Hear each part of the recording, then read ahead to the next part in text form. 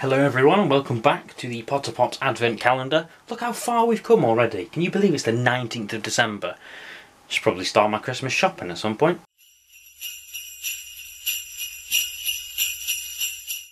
Okay, let's have a look who's inside our pouch. That sounded weird, but let's roll with it. Okay, let's have a look who we've got for door number 19. We have we have little Neville Longbottom with his um, Monster Book of Monsters for Hagrid's Care of Magical Creatures class. Quite like that figure, quite cool. Anyway, on with the improvised episode of the day. Do your monster books keep biting your fingers as well? Mine tried to nibble my knee off the other day. Um, Neville, I don't think Hagrid actually wanted us to get that book. I think it was more of a joke.